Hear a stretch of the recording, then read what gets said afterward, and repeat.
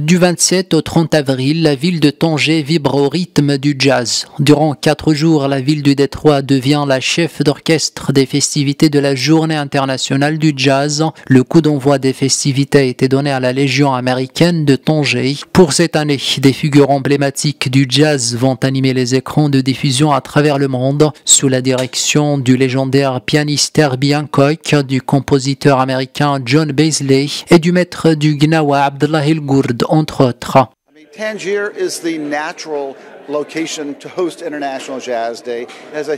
La ville de Tanger est l'endroit idéal pour accueillir la journée internationale du jazz avec une histoire riche de 100 ans. Le jazz a fait son entrée ici dans les années 1920 et a depuis été ancré dans la ville pendant un siècle.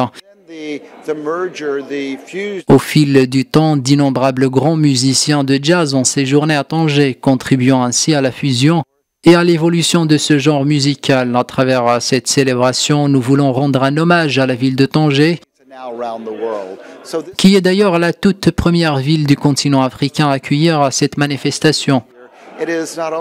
On attendait avec impatience. Là, on est ici, à Tanger qui en plus de tout ce que ça représente pour la journée internationale du jazz, est un lieu historique associé au jazz et à une variante du jazz qui est votre euh, musique traditionnelle. Donc euh, c'est un grand plaisir de commencer ces quatre jours de célébration ici à Tanger.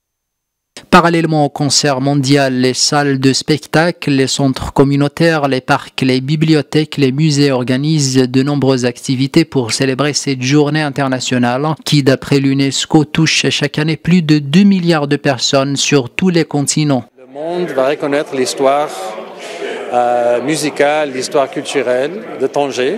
Euh, Tanger a joué un rôle très important dans le développement de ce qu'on appelle World Jazz, euh, world Music Jazz, le jazz international, le jazz euh, qui est mélangé avec les instruments et les rythmes africains et asiatiques.